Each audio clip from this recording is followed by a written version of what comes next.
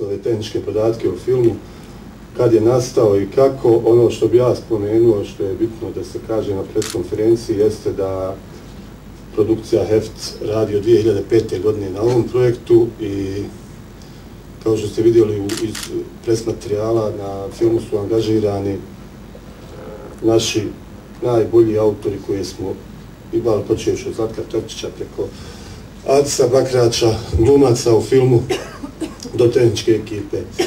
Naravno, naše su očekivanje i želje velike za sutra na večer.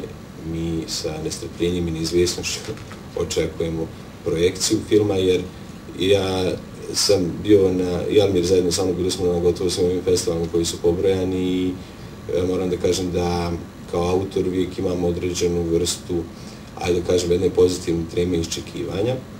I imao sam, međutim, ovo sutra je sigurno jedan događaj koji je u stvari kruna našeg petogodišnjeg rada.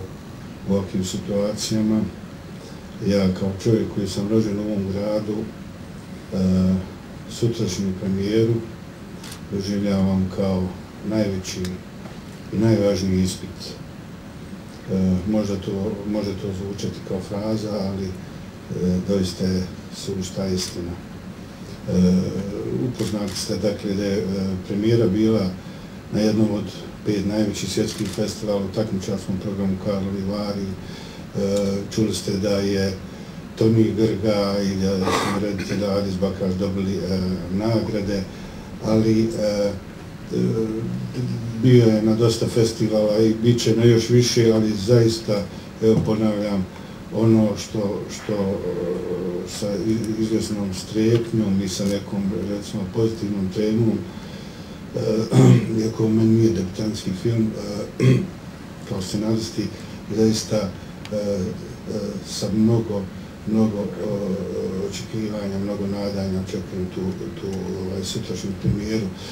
Ako, prije svega uh, bi želio da se zahvalim svim onima koji su me tokom filma podržavali, to jest uh, najviše reditelju i producentu, pa onda i glumcima starijim koji su me, znači profesionalcima koji su me podržavali i davali savjete, Mira Lambić, e, Mira Forlan, Mirsa Tuka. E, ne znam, za mene znači ovo bilo vrlo lijepo iskustvo, nisam se nadao da ću dobiti ovu glavnu ulogu e, u filmu. E, na početku nisam znači shvatao kak, kakva je ta moja uloga.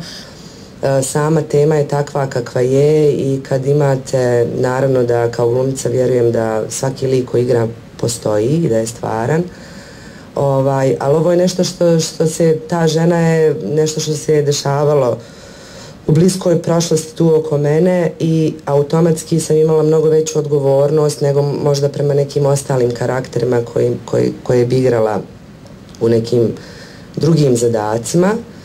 I s te strane je bilo zaista, mogu reći, teško. Imala sam razgovore sa tim ženama Srebrenice. Mislim, znate vi da se to dešava oko vas i da se dešavalo i svega ste svjesni, ja živim u Bosni svo vrijeme i u toku rata sam bila tu ali nekako sve je to mimo vas, nije vaš problem i kad se nađete u situaciji da razgovarate sa tim ženama, onda shvatite koliko je to, koliko toga zapravo ima i koliko je to ozbiljno.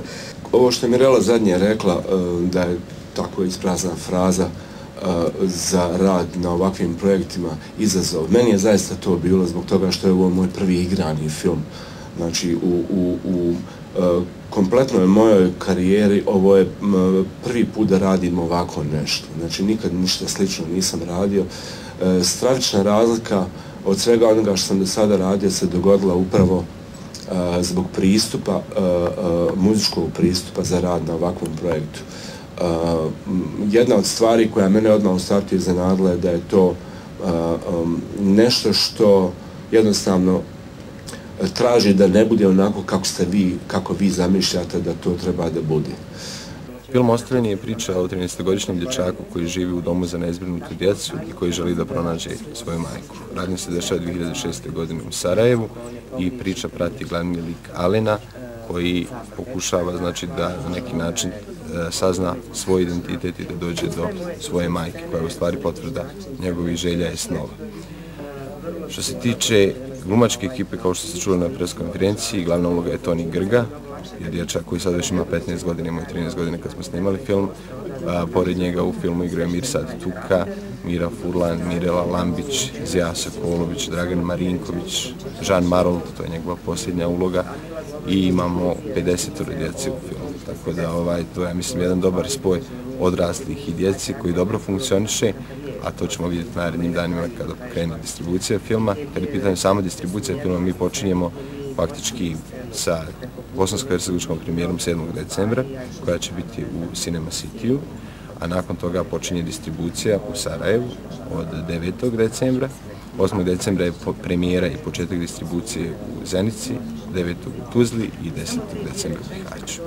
Pa teško je u nekom kratkom periodu objasniti sve svoje emocije, razmišljanje i dileme koje su možda postojale u tog procesa rada samog filma. Sad je u fazi da osluškujem reakcije publike i to je ono što me najviše zanima u trenutku kako će gledalci u Bosni i Hercegovini reagovati na ovaj film.